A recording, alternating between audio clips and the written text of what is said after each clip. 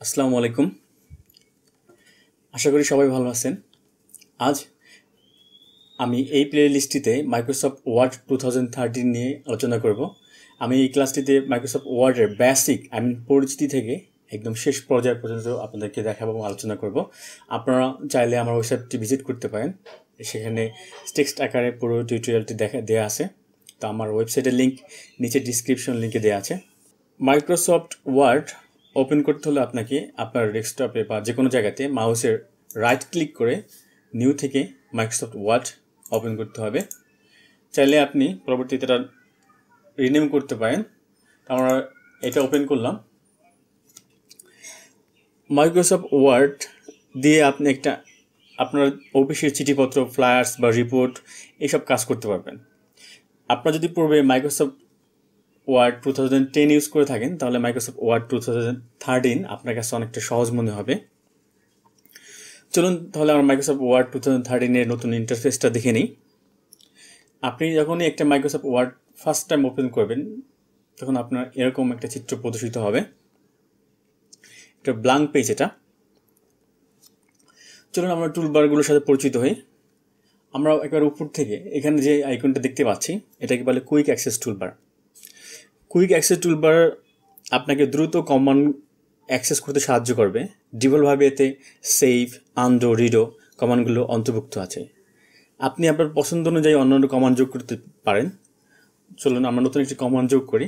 Command যোগ করতে হলে আপনি কুইক অ্যাক্সেস টুলবারের এই বাটনটিতে আপনাকে ক্লিক করতে হবে। দেন আপনি যেই কমান্ডটা যোগ করতে চান সাপোজ আমরা স্পেলিং গ্রামার এই কমান্ডটি যোগ করতে চাই। এটার উপর ক্লিক করব। দেখুন, এখানে স্পেলিং গ্রামারটা যোগ হয়ে গেছে। তেমনি আপনি কোনো কমান্ড রিমুভ করতে হলে এটার উপর আবার ক্লিক করবেন। ক্লিক সরি এটার উপর রাইট ক্লিক করে রিমুভ ফ্রম অ্যাক্সেস টুলবার এটা চলে যাবে। এবার চলুন আমরা এখানে যতগুলো আইকন দেখতে পাচ্ছেন, প্রত্যেকটা বলে কমান্ড আর প্রত্যেকটা, যেমন এটা এটা একটা কমান্ড গ্রুপ মাইক্রোসফট ওয়ার্ডের আমরা যে ঘরগুলো দেখতে পাচ্ছি হোম ইনসার্ট ডিজাইন এগুলোকে প্রত্যেকটাকে বলে একটি ট্যাব। এবং এই প্রত্যেকটা ট্যাবের ভিতরে থাকে অনেকগুলো কমান্ড গ্রুপ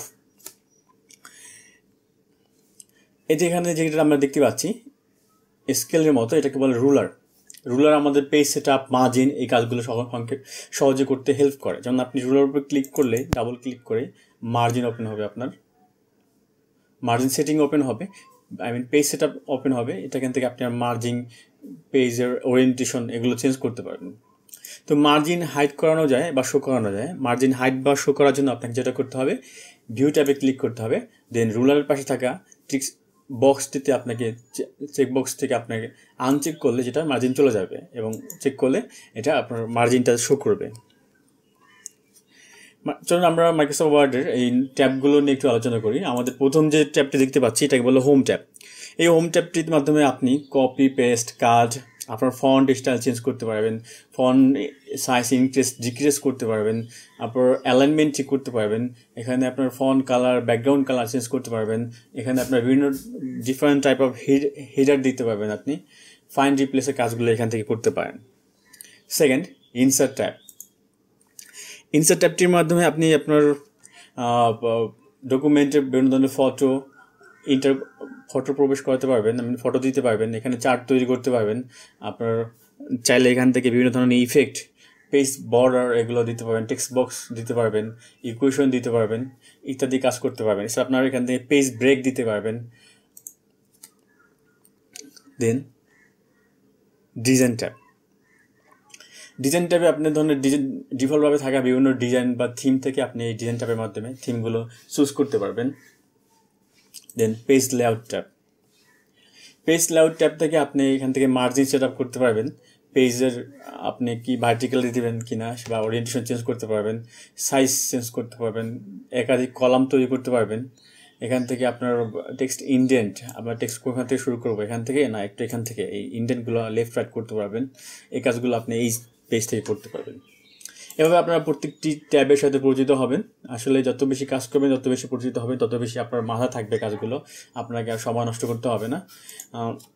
এ হলো আমার বেসিক তো আমরা এখন ব্যাক স্টেজ ভিউ দেখব। আমি ব্যাক স্টেজ ভিউটা কি? মাইক্রোসফট ব্যাক স্টেজ ভিউ দেখতে হলে আপনাকে এই ফাইল ট্যাবটিতে ক্লিক করতে হবে। তারপর যে আপনি ইন্টারফেসটা দেখবেন, যে স্ক্রিনটা প্রদর্শিত হবে, এটাকে বলে ব্যাক স্টেজ ভিউ এই ব্যাক স্টেজ ভিউ থেকে আপনি একটা নতুন একটা ফাইল খুলতে পারবেন অথবা পুরোনো ফাইলটিকে ওপেন করতে পারবেন। এই ফাইলটিকে সেভ করতে পারবেন। এই ফাইলটি থেকে এই ফাইলটিকে আপনি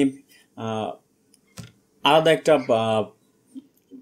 লোকেশনে সেভ সেভ এস দিয়ে সেভ করতে পারবেন বা এই সেভ এস দিয়ে আপনি different type of like PDF বা অন্য ভার্সনে আপনি এটা কনভার্ট করতে পারবেন। এখান থেকে প্রিন্ট করতে পারবেন শেয়ার করতে পারবেন, ইত্যাদি কাজগুলো করতে পারবেন।